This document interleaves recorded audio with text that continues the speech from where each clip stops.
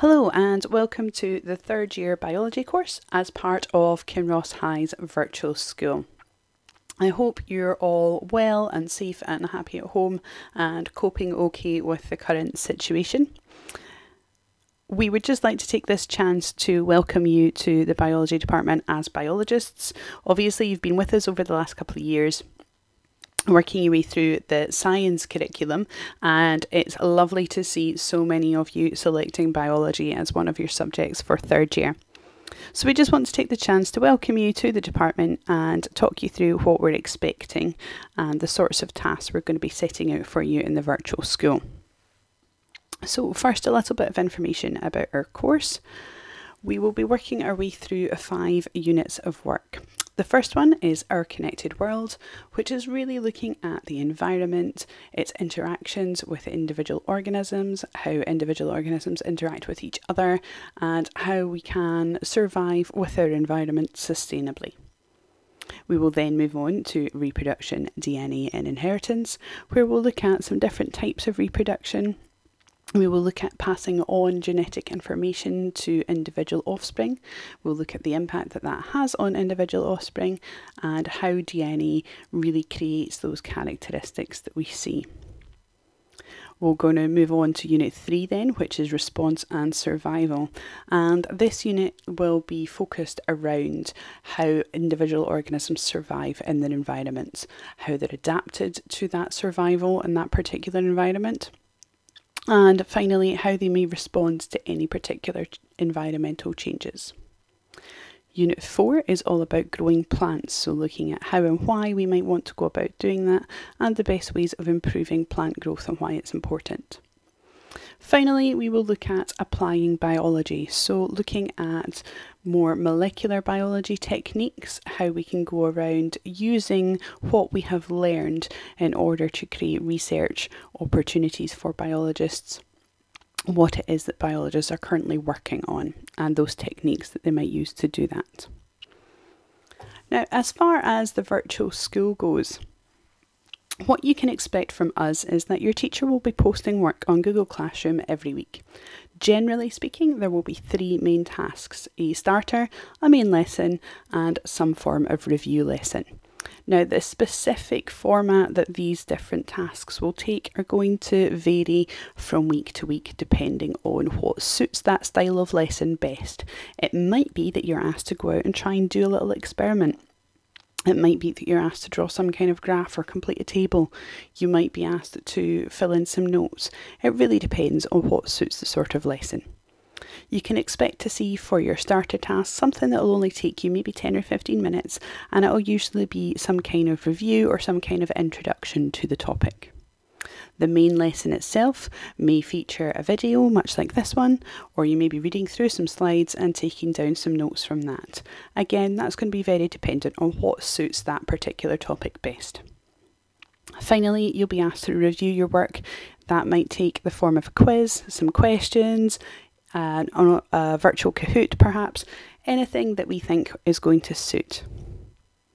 Now, as I said, this will be posted every week for you, and you're expected to complete those tasks whenever you feel is best, whenever works for you. You might find that it helps to follow your normal timetable just to help you manage your time. And it's worth knowing that we are not expecting these tasks to take you a full 55 minute period for each of them. In total, all three of them together should probably only take you around an hour, maybe an hour and a half, depending on what we're doing that week.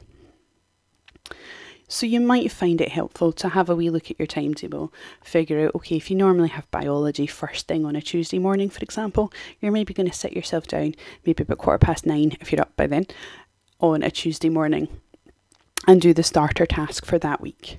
If you're then expected to be in biology again on a Thursday, you might then come in and try and do the main lesson around your biology time on Thursday. Or maybe it suits you just to pick some different um, topics that pick some different subjects and sit down and do them for a little while every evening. It's entirely up to you, but do try and keep on top of the work that you are being given so you don't have too much to catch up on later on. Now the work here being set will be set on Google Classroom and I've just set up a little example here so you can see the sort of thing that we'll be looking for you to do. So as you can see this has been set up as an assignment, it's got a due date at the top and you can see that there's some instructions here that have been set by me. So it explains what it is we're learning about, gives you your success criteria and describes the sort of tasks that it is you need to do. For this particular week there is a video, so there's a link to that video there which if you click on will open up and you can watch through the video. Over here on this side, you have got the little bits of work that it is you need to do. So working your way through those. So the first one up here is your starter task. And if you click on that, as it opens up, it will open up in Google Drive and you're then asked to complete some bits and pieces. So what we've tried to do is make it as simple as possible for you to edit. So where there's a box like that, all you need to do is click on into the box and you can start typing anything you like in here. And once you're happy and you feel like you've completed everything that you needed to do, you just close it down. That's all you need to do.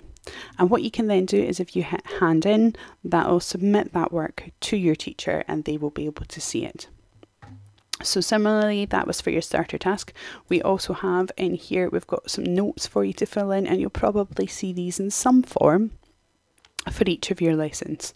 So again, all we're looking for you to do is try and complete the notes wherever you see those grey boxes, wherever you see those spaces, or there's an instruction for you to do so. If it's easier, if you have a look over here, there's a little zoom in button. You can zoom in just to see a little bit more and then I can type straight into this box and fill in any of my answers that I need to.